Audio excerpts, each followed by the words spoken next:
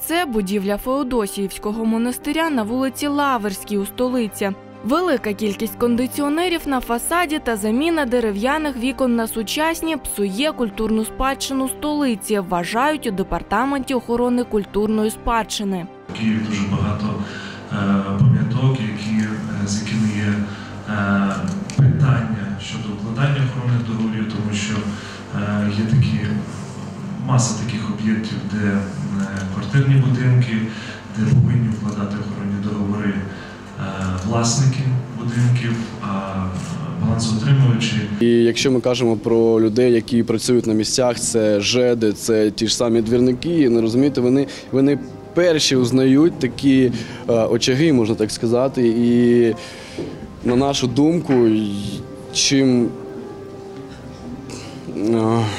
Чим краще вони нам підготовлять інформацію для того, щоб ми е, вжили заходів до правопорушників, тим краще. Також з нашого боку, якщо ми виявляємо е, правопорушення і ми не знаємо, хто є суб'єктом, Відтепер перед початком реставраційних робіт потрібен дозвіл від департаменту охорони культурної спадщини.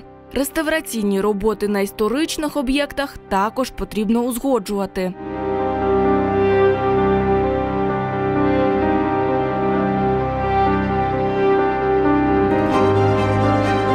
Правопорушення виконання робіт без проєктно-дозвільної документації. Розумієте? Проєктна документація на виконання будь-яких робіт. Якщо ви хочете влаштувати ресторан або магазин, а до того там був офіс або навпаки. Ну тобто е, проєктна документація має бути погоджена з нами. Це 26 стаття закону України про охорону культурної спадщини. Всього у Печерському районі понад 600 пам'яток історії, архітектури, культури, мистецтва і археології. Більшість з них потребують реставрації.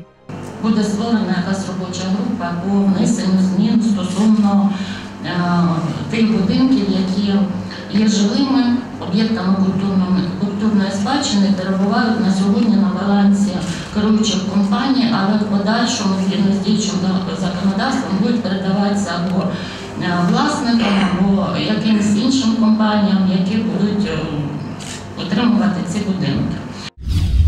Перевірити, чи дійсно ваш будинок має культурне значення, можна за допомогою інтерактивної мапи.